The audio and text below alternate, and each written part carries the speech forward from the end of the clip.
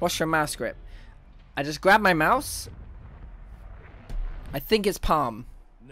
Yeah, it feels like a palm grip. I honestly don't overthink that shit too much.